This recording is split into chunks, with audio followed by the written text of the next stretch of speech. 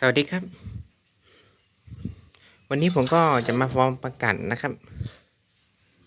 แต่เป็นประกาศสายพัฒนานะครับ เป็นประกาศป่าแก้มแดงสีทองนะครับ ให้ดูก่อน นี่ก็เป็นรูปประกาศ นี่ก็สีค่อนข้างที่จะออกมาเป็นสีทองเนี่ยนะครับ แต่ว่ายังมีบางตัวที่เป็น สีเขียว แต่ว่าต้องลองฟอลดูก่อนนะครับว่าโตขึ้นมันจะเป็นยังไง อันนี้ผมก็ข้ามมาส่วนหนึ่งก่อนนะครับปลาก็ยานโตไม่เต็มที่นะครับ อายุก็ประมาณสองถึงสามเดือนนะครับ แต่ว่าผมจะรีบเอาเอาพวกมันขึ้นฟอให้ให้เร็วที่สุดนะครับ เพราะว่าไม่อยากให้มันกัดกันในบ่อนะครับ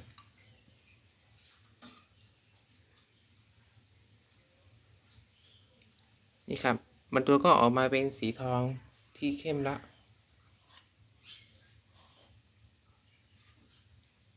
ตัวนี้ตัวผู้ครับ บ่อนี้นะครับ ตัวเมียมันมีเยอะมาก ส่วนตัวผู้มีน้อย แล้วก็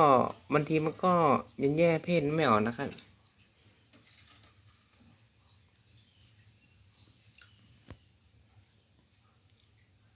ยันตัวเนี้ยก็เป็นตัวเมียนะครับ แต่ว่าสีมัน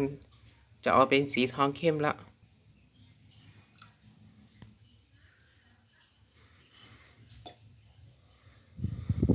อันนี้ผมต้องรอฟอร์มที่ไว้อีกสักประมาณหนึ่งเดือนนะครับ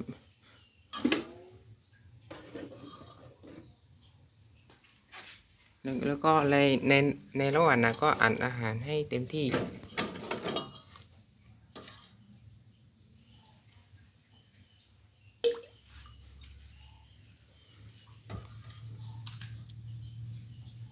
ตัวนี้ก็สีทองผสมสีหน้านะครับลำตัวก็จะออกสีหน้านิดนึง